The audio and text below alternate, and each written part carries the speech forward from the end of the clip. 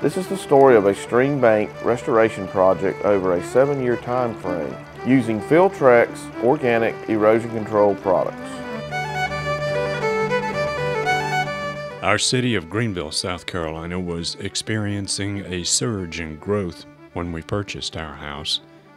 Our backyard overlooked a meandering stream lined with beautiful, long established beech trees. Upcreek building of housing developments in this densely populated neighborhood had produced increased stormwater runoff that cut away the soil along our stream bank and undercut the beech trees, exposing medium to small roots to stress from erosion and bank collapse. After six years of exposure to the powerful water hydraulics of the stream, the first installation of Filtrexx socks had withstood the storm currents but all the vegetation except the liriope had been stripped away.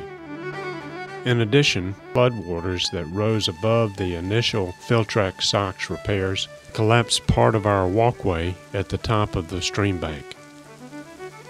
In 2008, we asked the Filtrexx Soxx company to return and reinforce and revegetate the earlier work as well as repair the walkway.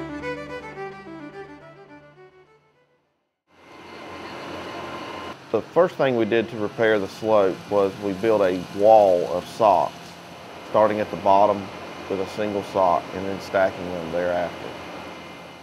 We wrapped it with a lockdown netting, which is a temporary system until the roots take hold and hold the wall in place.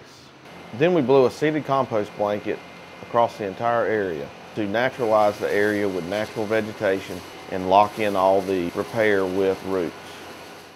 Since the first installation of Liriope in 2001 had proven able to withstand the storm water flows along this bank, we wanted to use it in this additional reinforcement.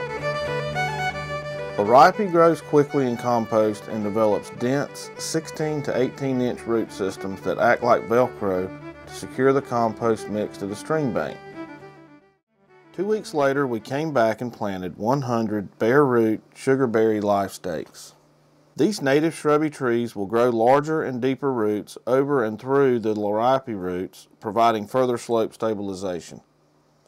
This natural integrated approach to reinforcing and revegetating the stream bank slopes with compost-filled Filtrexx socks, a seeded compost blanket, and three types of layered plantings should enable the Woodwards to preserve their trees and enjoy the beauty of their backyard stream for many years to come.